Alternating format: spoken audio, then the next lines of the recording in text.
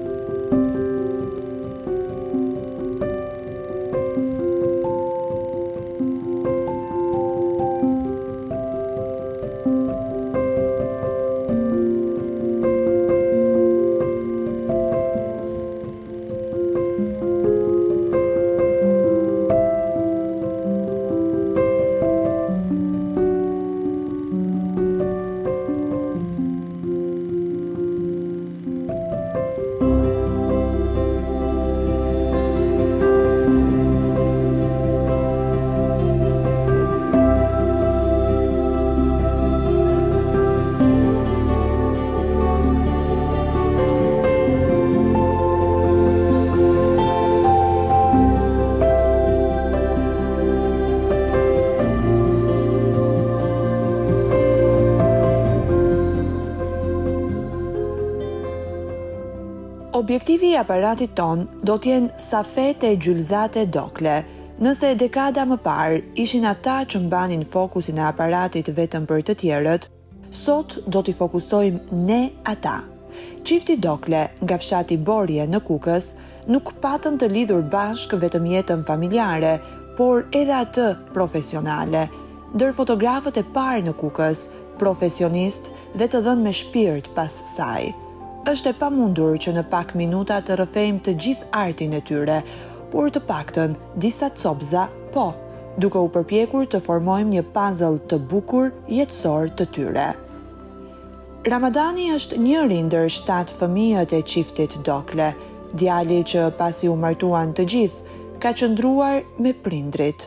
Kujtimet që ruan janë të shumta dhe të hershme, kur ai dhe vëllezërit e motrat e tij ishin të vegjël e ndiqnin dhe ndihmonin prindërit kudo, babain, Safet Doklen e përshkruan punëtor, iniciator, por edhe mendjemprehtë. Im atë gjithashtu ka qenë politeknik.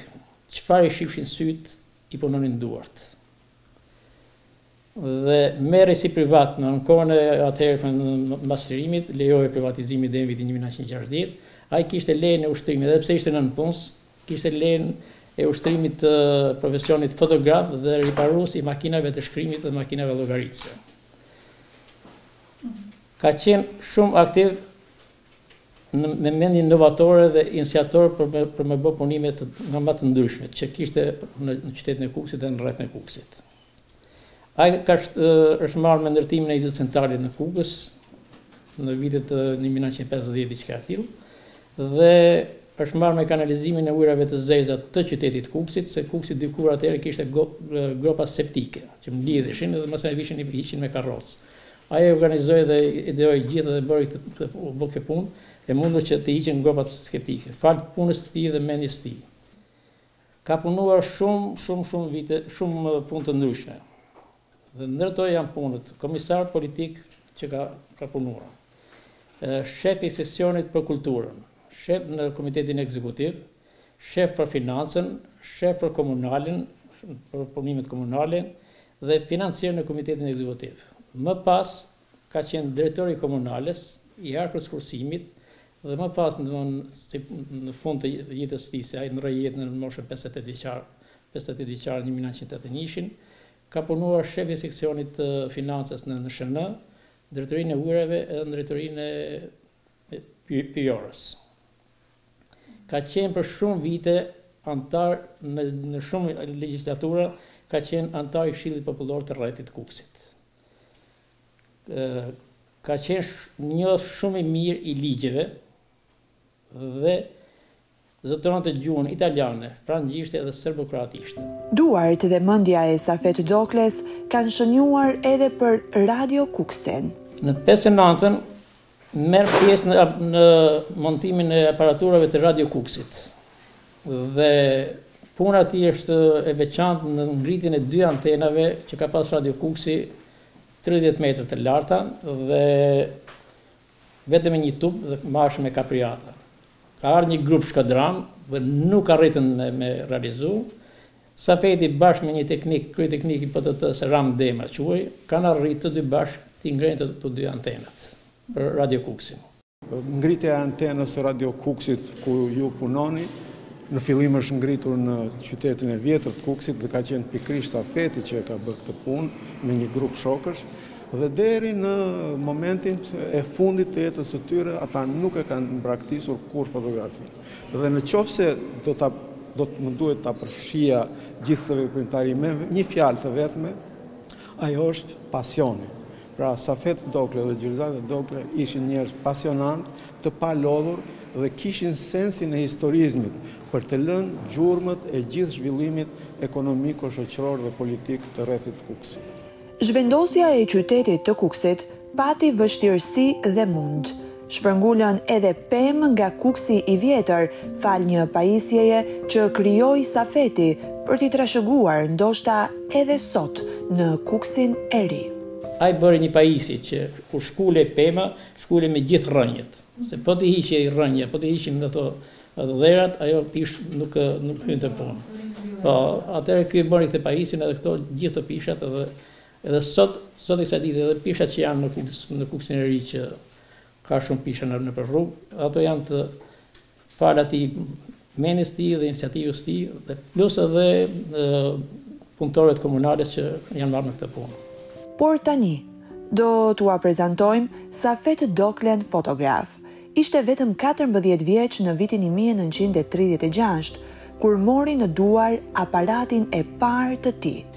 Imati në kohën që ka qenë në Durrës në vitin një mijë e nëntëqind e tridhjetë e gjashtë, ka pasë dy vëllezër që kanë kanë pasë një sektor privat pastiçeri, Hamza dhe Qemali, dy vëllezërit e tij, dhe në kohën që bënte shkollë, dy vëllezërit e tij, meqenëse e panë se ky është shumë i dhanun mas mas aparatit fotografik, i blenë një aparat fotografik dhe i krijuan mundësi atij që të Me këtë aparat ai të vinte në fshat e të bënte edhe fotografi të ndryshme. Sa vjeç ishte kur e mori aparatin për herë të parë në dorë? Katërmbëdhjetë vjeç. Dhe këtë me këtë aparat ka ardhur në fshat sa gjithë ato fshatarët ato gjithë ato banorët çuditeshin si ka mundësi që ky djalë kaq i vogël aparat dhe aparati ishte atëherë Gjë e re në fshatin tonë Borje. Edhe si emër edhe si objekt, s'kishim pa ndonjëherë një diçka të tillë. Ai përveç fotografit, si hobi, ai ka qenë një politeknik. Dhe ai nuk e bazonte këtë në shpikjet e tija, po bazohej në disa libra të cilat i kishte blerë në moshë shumë të re në Durrës. Ishin dy libra italisht, Njëri quhet Il Fotolibro dhe në të kishte të gjithë procedurat se si bëhen fotografitë, si zhvillohen, si fotografohen, arti i të fotografuarit e tjera e tjera dhe një libër tjetër që është një enciklopedi. Të tre këta libra, enciklopedia është në dy volume, të tre këta libra kanë qenë enciklopedi. Menjëherë nisi të shkrepte fotografi dhe t'i lante ato. Këto fotografitë i stamponte në Kukës, në ato vite ka qenë Studio Sharri, ku ka qenë fotografi i parë ka qenë Muharrem Qurqali. Dhe këto ose në Kukës, ose kur ishte në Durrës, kur kishte për të shku në Durrës, i bante edhe në Durrës. Në kohën që ka qenë në në Institutin Tregtar të Vlorës, edhe atje ka përdorur aparatin dhe e ka përdorur edhe privatisht, se nxirrte fotografi, lante diku aty në Vlorë dhe ndihmonte atë jetën e vet me me me të ardhurat që fitonte nga nga fotografimi. Në vitet që jetoi në Borje pasi mbaroi shkollën, i duhej të gjente një metodë për stampimin e fotografive. E cila ishte zgjidhja? Për stampimin e një fotografie duhet patjetër një energji elektrike dhe është konkretisht ky aparati këtu që ka ndërtuar me me me durt e veta. Duhej një një ndriçim lentët negativi poshtë pozitivi. Që të të stampohej gjithë ajo që ishte në në negativ. Pra duhej energji elektrike. Në fshat nuk kishte energji elektrike. Dhe ai çfarë bëri? Në një nga ato ambientet që ishte në oborr, me drasa, e izoloi e errësoi komplet që mos kishte dritë. Dhe në tavanin e tij që ishte prej drase, hapi një vrimë të vogël. Dhe në kohën që vinte dielli në mesin e ditës, ai me një farfall e hapte aq kohë sa duhet rrezen e diellit dhe janë realizu realizonte këto stampimin e fotografijeve me rreze dielli. Kjo kjo është e realizuar edhe nga shumë fotografë të tjerë në Shqipëri. Në atë vizitë që bona unë te Marubi, atje e, e takova atë që shumë fotografë e kishin aplikuar edhe këtë edhe këtë metodë. Pa ja arriti ta bëjë në fshat. Unë kam rreth 90 fotografi të tilla. Do të janë të edhe studio Sharrit, edhe të studios me dritë natyre, Dhe i kam në album aty. Tani do të nxjerrim në pa edhe Gjulzaden. Djali i tyre na tregon për fotografinë më të mirë të çiftit Dokle. Fshati Borje e kishte dhe e mbart akoma një traditë, martesat me dashuri dhe jo shkuesi. Po të shohim albumet e familjare që kam te shpija, aty është një fotografi e një vajze të re me veshje gorane domethënë. Në Borje ka për vajza ka veshje tjetër, për nuset ka veshje tjetër, për gra e për plaka janë veshje të caktuara. Është një fotografi e nënës time atje dhe është në një moment shumë delikat. Imati duke kaluar në një rrugicë ku e dinte që ishte Gylzadja, edhe e dinte që ishte fshehur mas murit, sapo kalon rrezën e atij murit, merr aparatin edhe bëhet gati se e dinte se ajo do të dilte te cepi për me e pa, të dashurin e saj. Edhe ajo sa nxjerr kokën, ky prap e shkrep. Dhe është fotografi e kemi ato fotografi sot dhe e çmojmë si fotografia ma e mirë e realizuar edhe nga Imati edhe nga nëna jonë. Në Borje ka qenë traditë dhe vazhdon të jetë traditë, mund t'jetë prish pak, po ka qenë traditë që vazhdimisht merreshin me dashuri. Fshatit tonë i kanë pas thën fshati i dashurisë dhe i luleve. Gjulzadja nuk u shndërrua vetëm në bashkëshorten e fotografit, por edhe në fotografe. Dyzet e pesën tamam që kanë zbrit bashkë familjarisht që kanë zbrit në Kukës dhe aty baba duke marrë privatisht se kishte lejen e ushtrimit të profesionit, duke e marrë privatisht ai ndërtoi edhe laboratorin fotografik me këtë aparatin e stampimit këtu që ka dhe filloi të stamponte te shpija. Ndërkohë Nëna duke e parë dhe kishte nevojë Imati që të ndihmohej nga dikush, mori mori aparatin fotografik dhe fillon filloi të fotografojë edhe ajo. Dhe pavarësisht se kishin filluar fëmijët t'i lindin se i pari ka lindur në vitin 1945, edhe fillon të të ushtu dhe marrë problemet me fëmijët, në 52-shin Ajo kërkoi nga Kooperativa e Artizanatit që të regjistrohet si fotografe në shtet. Dhe në pesëdhjetë e dyshin nëna ime ka filluar punën si fotografe në qytet. Është ndër tre gratë e para që kanë ardhur nga fshati Borrje, që kanë filluar punë dhe kanë heqë edhe rrobat e fshatit, domethënë rrobat Atë veshën popullore që thamë? Alla turke e quhushin atëherë, ka vesh veshjet alla franga, kështu quhushin atëherë këto veshjet e qytetit. Dhe ka punuar në anë e mbanë deri në vitin një mijë e nëntëqind e shtatëdhjetë. Çifti Dokle dalloheshin për nga dashuria dhe komunikimi që kishin me njëri-tjetrin. Jo për të lavdru tashi prindtë e mi, por kur, si thoshin, çift ideal. Kanë shku aq mirë me njëri tjetrin sa s'ka ku të shkojnë. Ne nuk majmë mend një herë tim atë dhe nënën tonë të jenë grindë apo të kenë kaluar keq.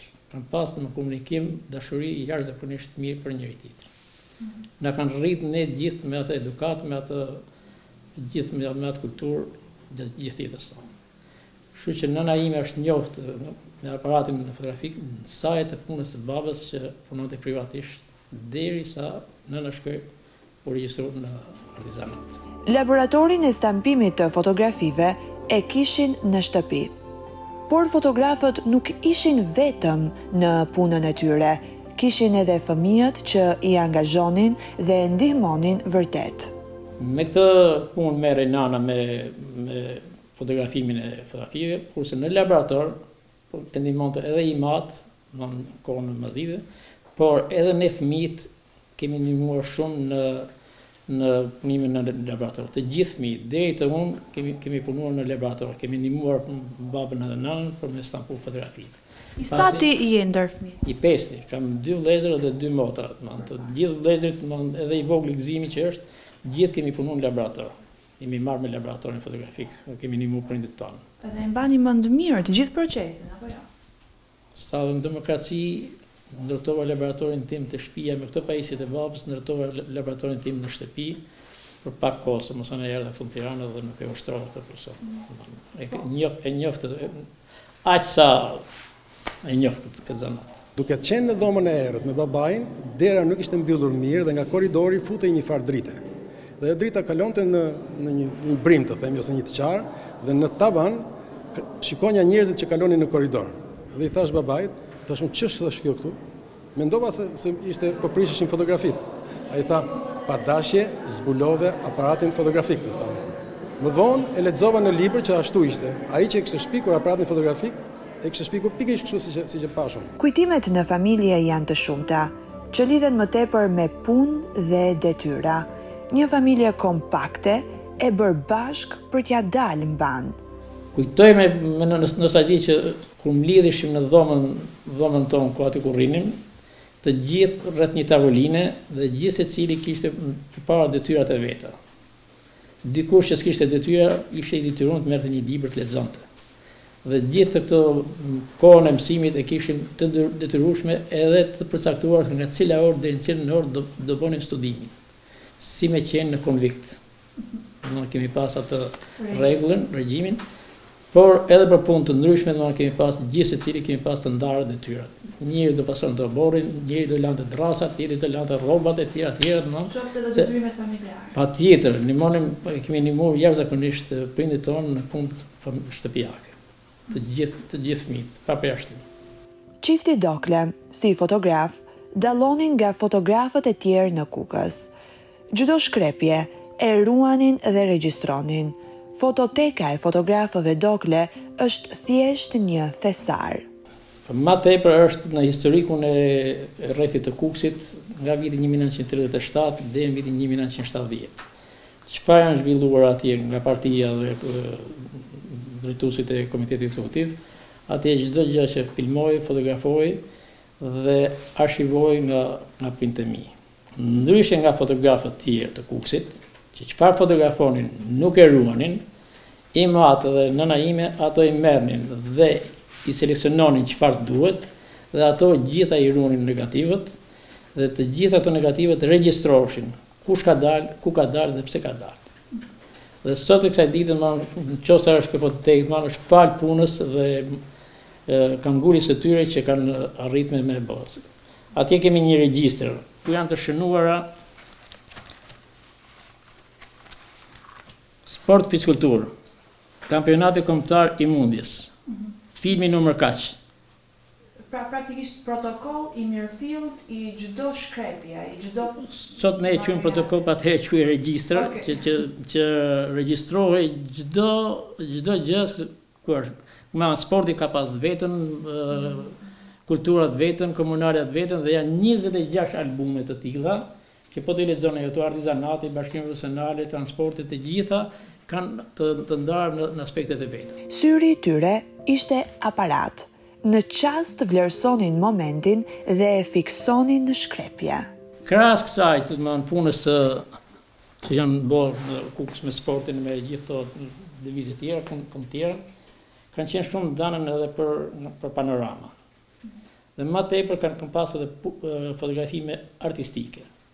Ka shumë fotografi dhe një nga këto është edhe ky albumi këtu, që janë 100 fotografi të përzgjedhura që janë foto artistike dhe nuk janë kërkuar nga personi që të dalin fotografi, po vetë këta të dy e kanë vlerësuar që kjo foto është shumë e bukur edhe kanë shkuar kanë shkrep aparatin, pa asnjë lloj porosie. Domethënë thjesht e kam parë një është një një fotografi atje, fëmijët duke ndëgjuar radio radion për herë të parë. Domethënë është ndezë radio për herë të parë, edhe aty ka qëllu nëna ose im atë që nuk, nuk e di se kush. Atëherë kanë shkuar afër dhe kanë e kanë fotografuar këtë këtë këtë foto, domethënë këtë aspekt. Çka dëshmon syrin e fotografit? Patjetër, çdo gjë, domethënë po të shohësh, domethënë ka fotografi nga më të ndryshmet artistike të të dy prindërve të mi. Nuk i dihet se kush e ka shkrep im atë apo nëna ime po janë të çiftit Safet dhe Gjelzade Dokle. Safet Dokle jo vetëm fotografonte dhe stamponte, kishte edhe një talent tjetër, riprodhimin e fotografive të dëmtuara, madje bënte edhe ritrushim me ngjyra.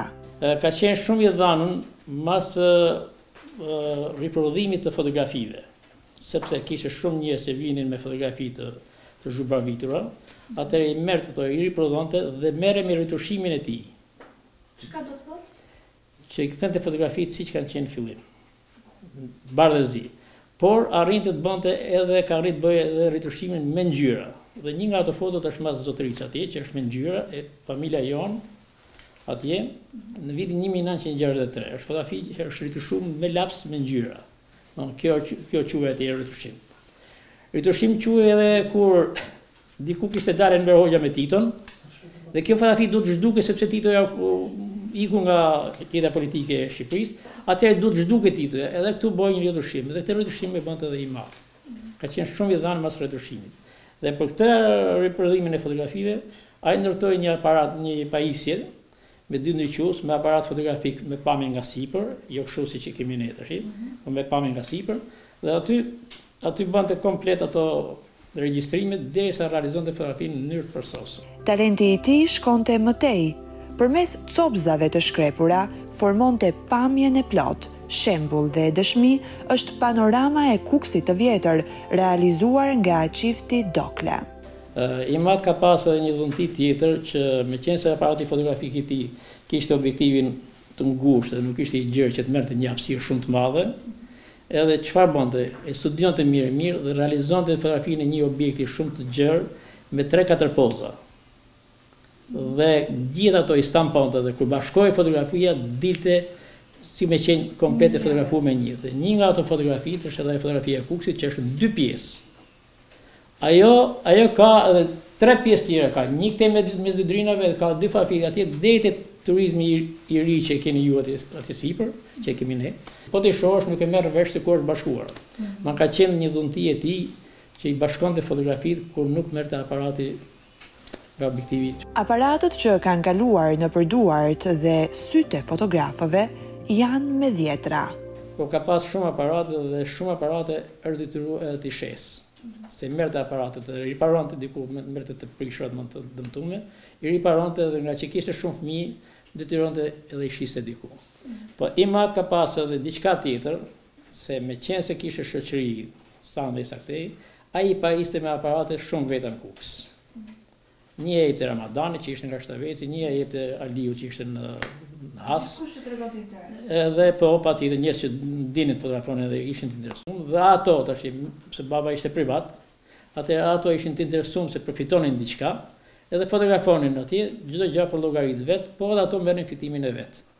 Dhe këtë e ka përdorë edhe këto aparate ky vazhdimisht ja dhuronte.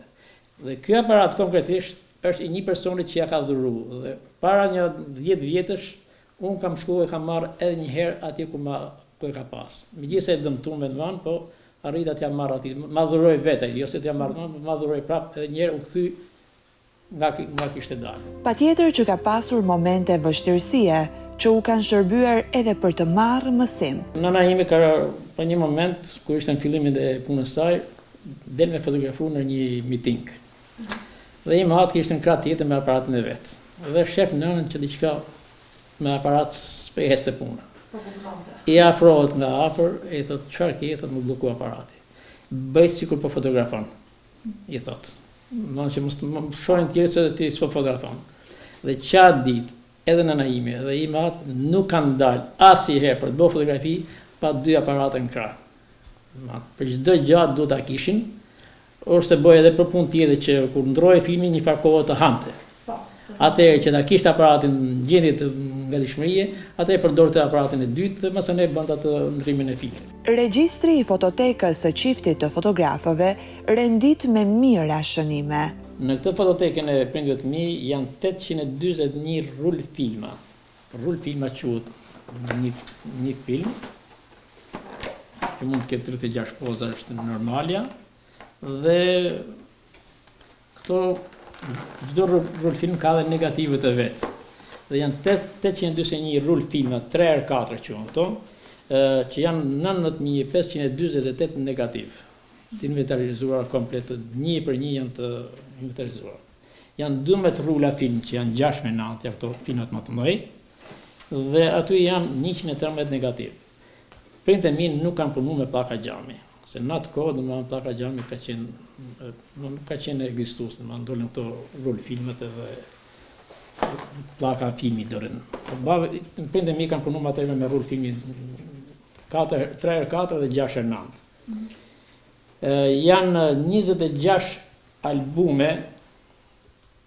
të ndërmarrjeve të ndryshme, institucioneve të ndryshme dhe janë të një mijë e pesëqind e shtatëdhjetë fletë dhe janë gjashtë mijë e njëqind e shtatëdhjetë e gjashtë fotografi të stampuara. Të gjitha të ruajtura. Të gjitha të ruajtura dhe janë të gjitha të të me numër regjistri me gjithë kanë të shënuar 111 67 pra po të kërkosh te regjistri 111 67 e gjen se ku ka dalë, çfarë viti ka dalë dhe për çfarë ka dalë. Të gjitha janë këtu dhe është flitet për transportin këtu. Dhe të gjitha janë ndame, transporti, ushtria, fronti demokratik, rinia, organizata e rinisë, pionierë, të gjitha janë ndame në 26 albume të veçanta.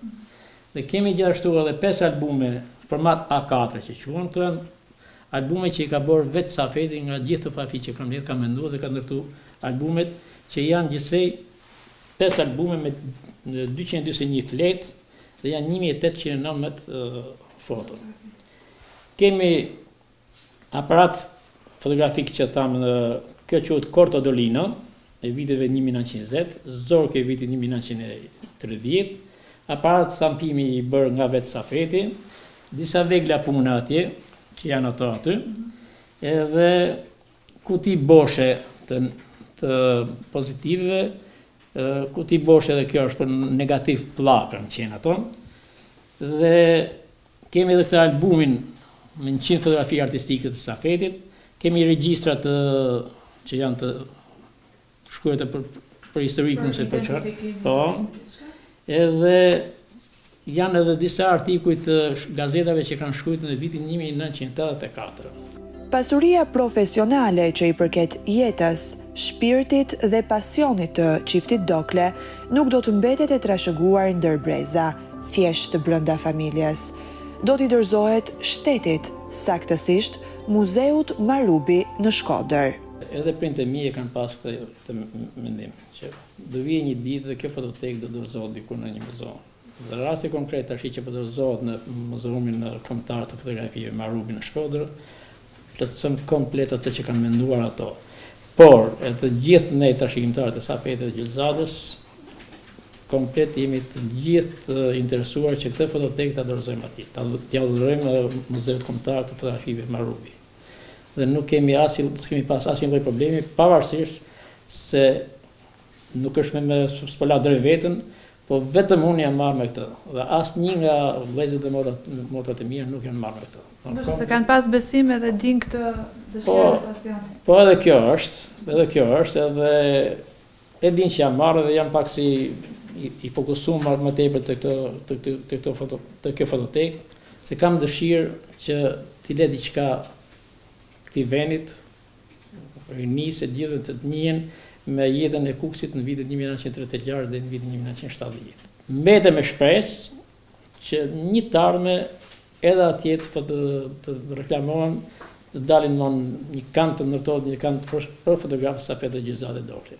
Gjë që ma ka premtuar vet drejtori Luçano Bedeni, që më ka thënë që shumë shpejt çdo fotograf të ketë atë këndin e vet.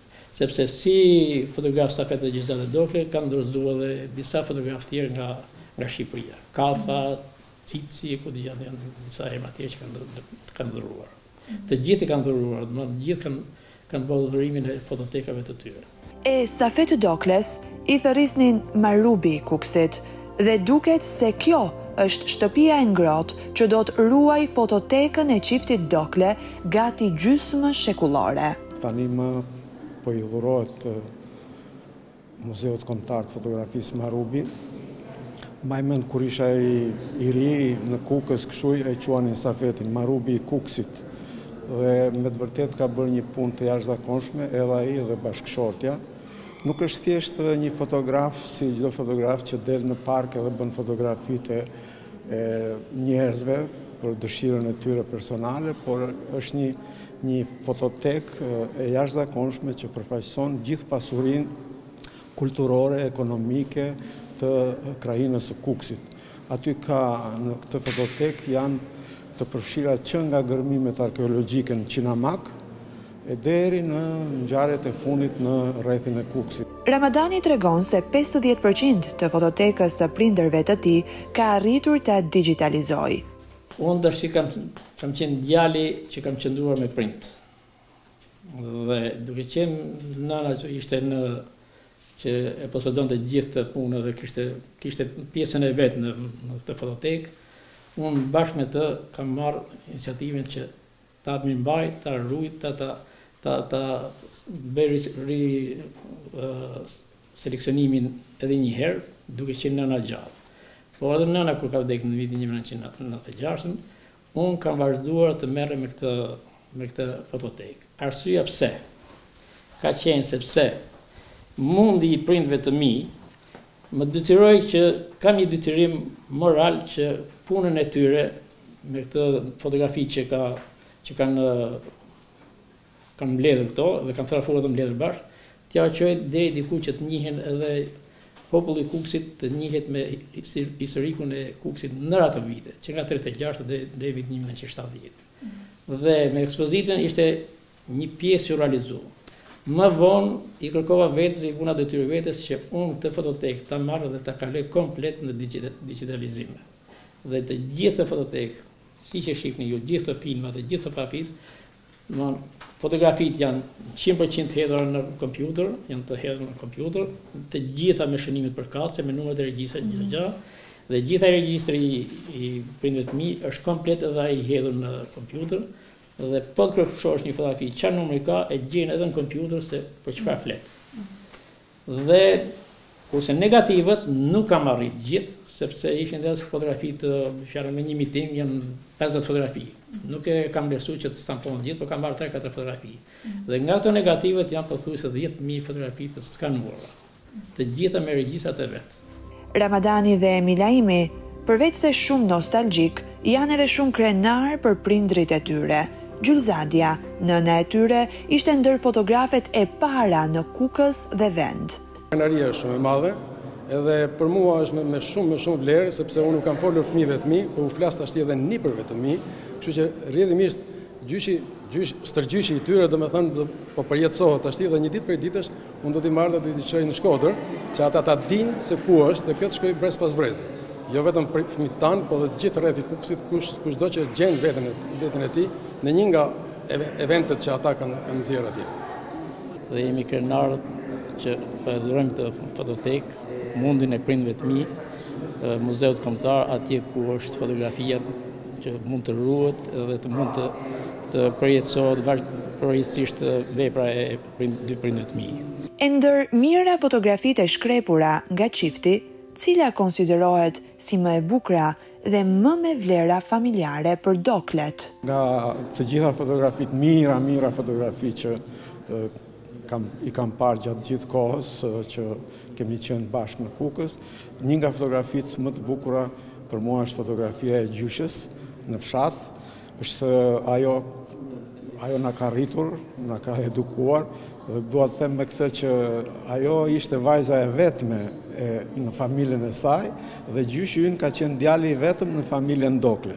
Nga nga këta dy të vetmuar pas martesës lindën fëmijë dhe sot fisi Dokle që e ka burimin te, te ajo grua zonja aty, Është mbi pesëqind e tre pjesëtarë. Në vitin një mijë e nëntëqind e tetëdhjetë e katër është hapur ekspozita e parë dhe e vetme e çiftit Dokle, me titullin Kukësi ndër vite. Në vitin një mijë e nëntëqind e tetëdhjetë e katër im atë ka ndërruar jetë në tetëdhjetë e njëshin me iniciativën e nënës time, se ajo më tepër ishte kërkonte që të hapej një ekspozitë në Kukës dhe bashkëpunim me Muzeun e Kukësit ku ishte drejtor Nazif Dokle, Nazif Doklen unë e kam djalë xhaxhai, edhe im atë ka pas dëshirë me hap një ekspozitë në Kukës dhe me ndihmën e Muzeut të Kuk të rrethit të Kukësit u hap një ekspozitë në një mijë e nëntëqind e tetëdhjetë e katër dhe me titullin me emërimin Kukësi ndër vite dhe janë stampuar rreth dyqind e sa fotografi atje janë kanë qenë të afishuara edhe ato janë në një album këtu se si ka qenë e ndërtuar ajo ekspozita. Gjithashtu, për çiftin e fotografëve, Nazif Dokle ka shkruar një libër. Ramadani zgjodhi që këtë libër vetëm ta dhuronte dhe jo ta shiste. Sot në shtëpi ka vetëm një kopje të tij. Në vitin dy mijë e katërmbëdhjetë, mbasi kam bërë këtë, kërkova nga Nazif Dokle që bashkë me mua të bëjmë një libër që Për fotografët Safet dhe Gjylzade Dokle për jetën e tyre në aspektin më tepër fotografik. Dhe u arrit në vitin dy mijë e katërmbëdhjetë që së bashku me Nazifin bëjmë një libër që është fotograf fotograf Safet dhe Gjylzade Dokle. Këtu këtu çdo punë e kompjuterizuar është bërë nga ana ime dhe konsulent për gjithë kët libër që autor është Nazif Dokle, kam qenë unë, Dhe sponsorizues kam qenë edhe unë për këtë libër. Dhe ka diçka të veçantë, nuk e di, por unë nuk kisha dëshirë kët libër me e nxjerr në shitje. Dhe 300 kopje që kam bo. Dhe 30 kopje të të falura, domethënë të dhuruara nga shtëpia botuese Geri, me Gjon Jakun pronar, M'i dhuroi tridhjetë albume më tepër, tridhjetë libra më tepër. Të gjitha i kam dhuruar shokëve, miqve dhe shumë të interesuarve që merreshin me kulturën, me sportin, me komplet asnjë libër nuk kam nxjerr në shitje. Dhe sot vetëm një libër kam te shpija. Kam një farë mendje që edhe mund të ribotohet, por prapë nuk e nxjerr në shitje. Nuk e di, jam i tiposet më më sa që nuk... Dhe kur kam bërë këtë librin, Nazifi këmbëngulte që të bëhej një promovim, edhe disa shokë të tij që merreshin me me me gazetarinë edhe me kulturën. Unë nuk nuk e vlerësova që duhet të bëj një promovim. Dhe ka ngel ai libër pa promovim. Duket se profesionalisht, asnjë pasardhës i çiftit të fotografëve nuk e ka trashëguar artin e tyre, por të dhënë pas aparatit, Janë gati të gjithë. Artin e fotografimit dhe punën me fotografinë ne nuk e kemi trashëgu asnjeri profesionalisht, por të gjithë jemi të dhënë mbas aparatit fotografik, kush më pak e kush më tepër, deri te nipërit e te mbesat, e stërnipat e stërmbesat e Safetit janë të dhënë mbas fotografisë. Unë me të vërtetë që këtë një fjalë, një fjalë e kam lindë me aparat fotografik te koka. Po edhe fëmijët tanë Janë lind edhe rrit me aparat te koka. Të gjithë që jemi ne vëllezërit të mëdhenj, vëllezër e motra të gjithë kemi nga një aparat fotografik te shpija. Por profesionalisht nuk e kemi asnjëri trashëgum.